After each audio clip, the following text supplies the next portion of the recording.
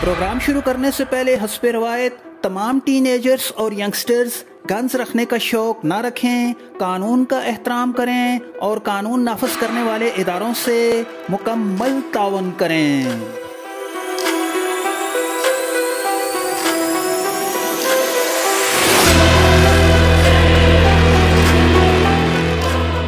दोस्तों, इस वीडियो में हम आपको लोकल पिशावर में तीस बोर पिस्टल का रिव्यू दिखा रहे हैं। हमारे इस प्रोग्राम का हरगिज़ ये मकसद नहीं है कि आप गन्स को ख़रीदें या गन्स को इस्तेमाल करें। हमारा ये प्रोग्राम सिर्फ़ और सिर्फ़ मालूम आमा के बारे में है। पेशावर में बहुत ही अच्छी और मैारी कंपनियाँ मौजूद हैं जो बहुत अली क्वालिटी के पिस्टल्स और गन्स बनाती हैं।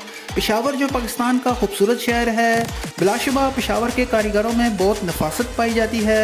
सूरत हाल अब तक की ये है कि बैन अवी सतह पर भी पेशावर की बनी हुई गन्स और पिस्टल्स को कदर की निगाह से देखा जाता है।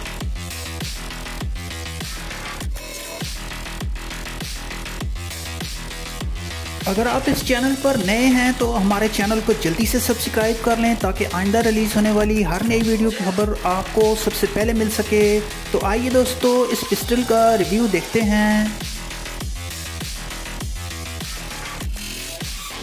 इस वीडियो में जिस पिस्टल को आप देख रहे हैं, ये पिशावर का बना हुआ है। बहुत ही खूबसूरत और रोबस्ट हैंडगन है।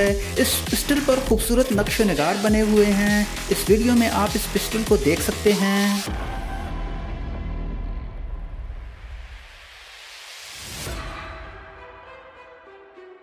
कंपनी ने इस पिस्टल के साथ दो मैगजीनें दी हैं। दोनों मैगजीनों में पंद्रह पंद्रह बुलेट्स समा सकती हैं। लेकिन दोस्तों, मेरा मशवरा यह है कि पंद्रह बुलेट्स इस मैगजीन में ना डालें, बल्कि बारह बुलेट डालें ताकि मैगजीन का स्प्रिंग ख़राब ना हो।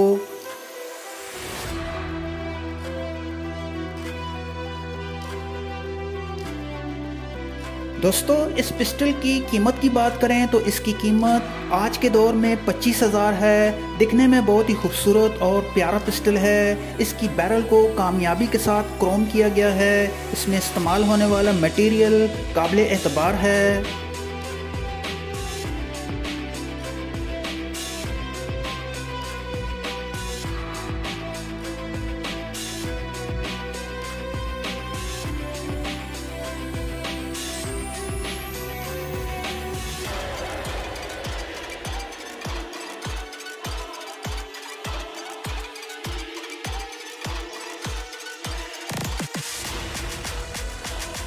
इस पिस्टल के बारे में आप क्या राय रखते हैं? कमेंट बॉक्स में ज़रूर इजहार करें। प्रोग्राम को लाइक और शेयर करें। खुश रहें और अपना बहुत सा ख्याल रखें। फिर मिलेंगे एक नए प्रोग्राम के साथ।